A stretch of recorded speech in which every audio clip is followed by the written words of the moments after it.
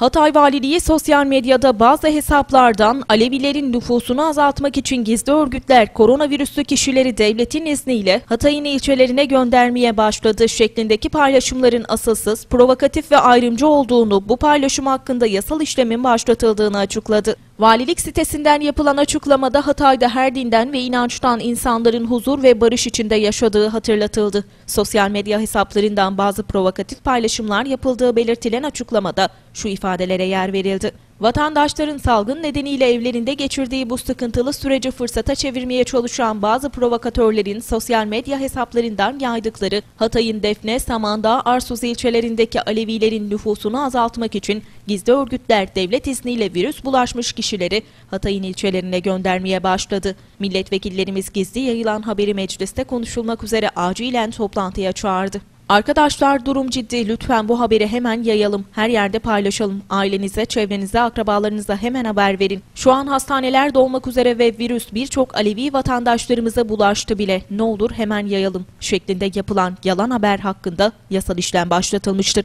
Devletin sağladığı huzur ve güven ortamında herkesin kendi inancını özgür bir şekilde yaşadığı kaydedilen açıklamada bu zor günlerde halka ayırmaya, galeyana getirmeye çalışan provokatörlere geçmişte olduğu gibi şimdi de izin verilmeyeceği vurgulandı.